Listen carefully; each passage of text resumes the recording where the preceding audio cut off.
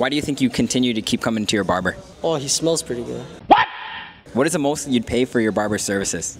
I mean, it depends on the cut, but like 80 bucks. Oh my god! What do you think about that, Fabian? Shit, let me up my prices, man. Okay, okay, okay.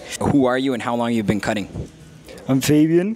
I've been cutting for like almost two years now. Uh, this is my 10th month here. So, out of all the career paths in the world to pick from, what made you decide to take up cutting hair? Honestly, I just thought it was a sick place to be at, like just being in the barbershop. But on top of that, it's just like it's a it's a creative outlet, you know.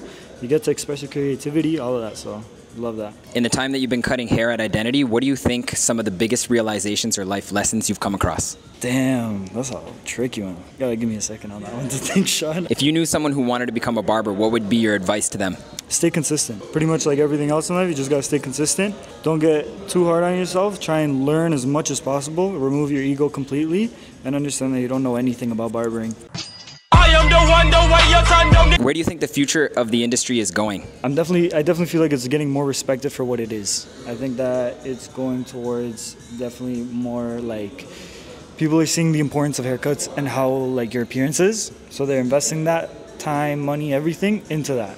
With stuff you see online, where do you think like the future of the industry as a client it's going? Well, I think Fabian's, he said it pretty good. I think it's being more respected. You've probably seen videos of people like increasing prices, stuff like that. What are your thoughts on this? If Fabian ever increases his price, then I guess I'll have to leave him. 80 bucks. No, all jokes, all jokes. It all depends on the value that the barber can provide. Yeah, 100%. Uh, it all depends on like what cut you're getting, like all the designs and how much effort the barber has to put into towards the cut. What's in it for the future of Fabian?